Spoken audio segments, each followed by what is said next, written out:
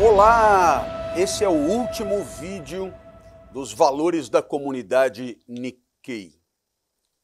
E eu gostaria de encerrar essa série falando de gratidão. Gratidão ao Bunkyo, gratidão à comunidade Nikkei e a certeza de que se trata de um sentimento compartilhado por toda essa comunidade. Tomás de Aquino foi um grande pensador. Ele viveu ali na, na, na chamada média idade média. Não era nem a alta idade média, muito próxima do Império Romano, mas também não era tão grudadinho no Renascimento. E Tomás de Aquino, ele se chamava Tomaso, né, da cidade de Aquino, e virou santo. Aí então, para nós, Santo Tomás de Aquino, né, como quando é antes de consoante, o santo vira são. Né? Antes de vogal fica santo. Então, Santo André, mais São Bernardo. Então, São Tomás de Aquino. E ele escreveu um tratado sobre a gratidão. E ele afirma que a gratidão tem três níveis. O primeiro nível é um nível de mero reconhecimento, de mero diagnóstico.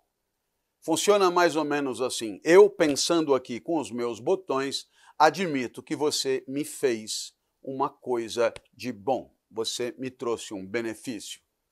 Você me, me fez uma coisa boa e tornou a minha vida melhor. E eu diagnostiquei isso. Eu reconheço. É um reconhecimento intelectual.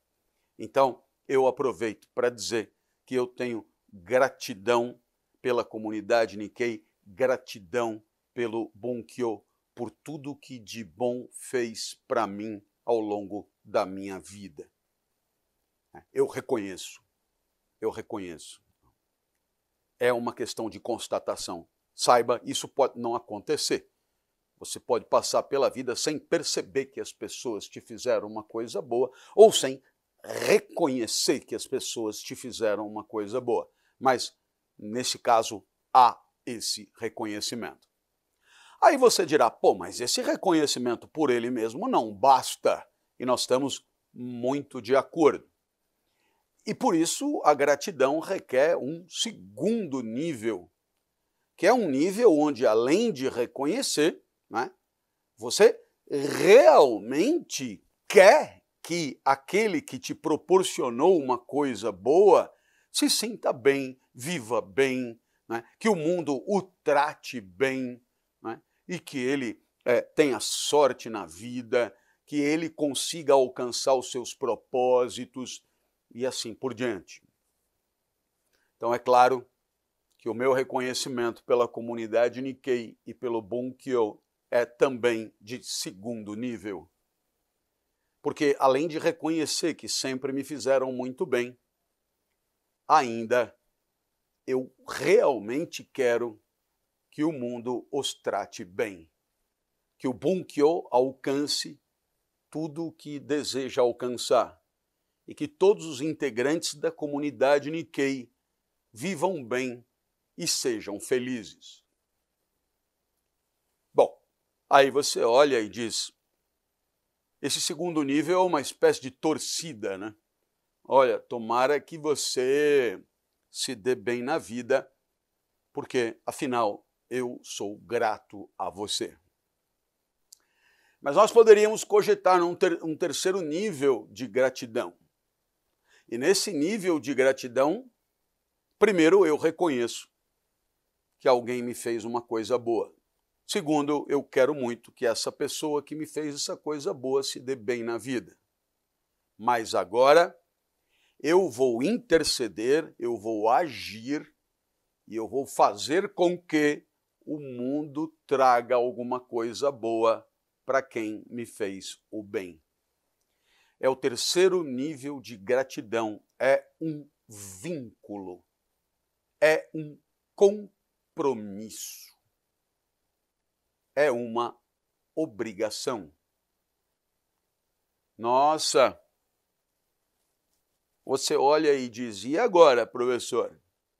Agora o que eu tenho a dizer ao Bunkyo e à comunidade Nikkei é que eu me sinto vinculado, eu me sinto participante e eu me coloco à disposição para poder proporcionar o que de melhor eu puder para que possam de fato viver felizes, para que possam de fato alcançar o que pretendem.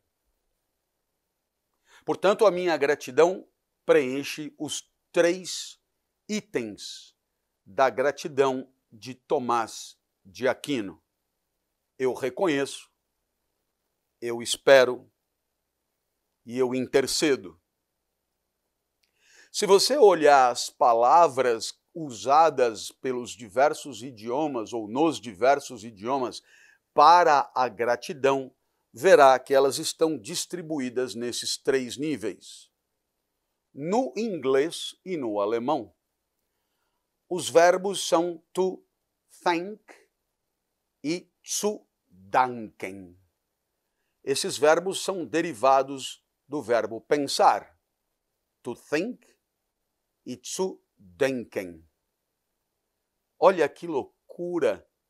A gratidão para os anglofônicos e os germanofônicos, ela é de primeiro nível, pelo menos na esfera linguística.